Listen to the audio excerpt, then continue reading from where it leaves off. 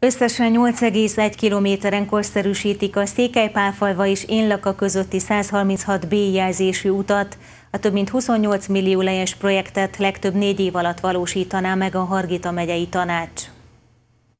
Évekig elhúzódó körülményes tervezés és közbeszerzési eljárás után megkezdődtek a 130B számú út korszerűsítési munkálatai a Hargita megyei Székelypálfalva és Énlaka között. A gyakori földcsúszamlások miatt az út több helyen igencsak megrongálódott. A tervek szerint az út korszerűsítése mellett 35 átereszt helyeznek el, 4,7 kilométernyi betonsáncot öntenek, körétegek kerülnek az alaprétegbe, amelyre záró réteget terítenek le, de javítják a kapubejár járókat, valamint egy-egy szakaszon a bekötő utakat is, ismertette a sajtótájékoztatón a Hargita megyei tanács vezetősége. De a sok-sok nehézséget egybevéve, beleértve a közbeszerzési pereskedéseket is, ma már elkezdődött a munka, és én hiszem azt, hogy ennek az útnak nagyon komoly hozadéka lesz, és Székelyföld összekötése tekintetében pedig egy nagy lehetőség ugye a székudvarhelyi mind a csíkszerdai vagy a csíki emberek számára,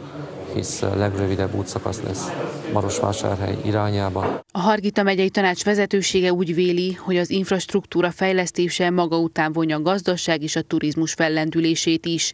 Minden mellett ezek a beruházások a helyek életszínvonalát javítják, és népszerűbbé tehetik a vidéki életet a fiatalok számára, vélte Etét polgármestere. Az infrastruktúra nagy mértékben meghatározza az embereknek az életminőségét, a lakosságnak az életminőségét.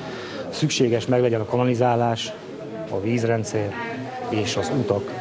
Ez, ami jelent az infrastruktúrát ahhoz, hogy maradásra bírd a fiatalokat, hogy otthon maradjanak, hogy megpróbáljanak vagy gazdálkodni, vagy üzletet alapítani, vagy bármilyen tevékenységet ami, ami a község és a, és a lakosság fejlődését képezi.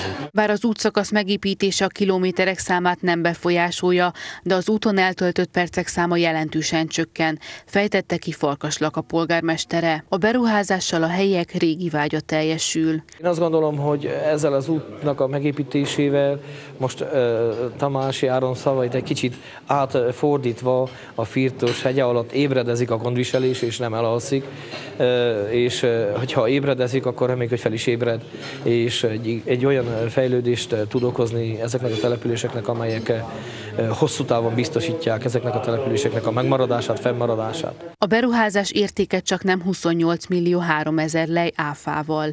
Ez két támfal építését is tartalmazza Firtosvára és Székelypál falván, amelyek a korábbi földcsúszamlások miatt indokoltak. Erre a kormány árvizes alapjából 1,3 millió lej áll rendelkezésre.